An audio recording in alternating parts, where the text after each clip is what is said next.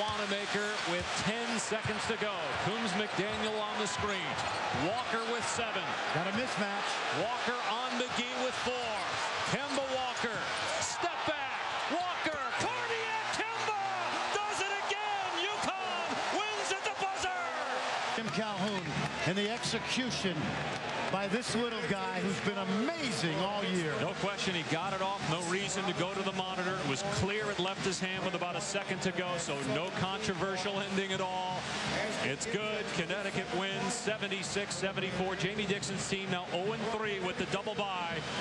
And Calhoun's club moving on. Kemba Walker with the game-winning shot. His mom, Andrea, is watching, and you can see right away her reaction as Walker drained it. Beth Mowat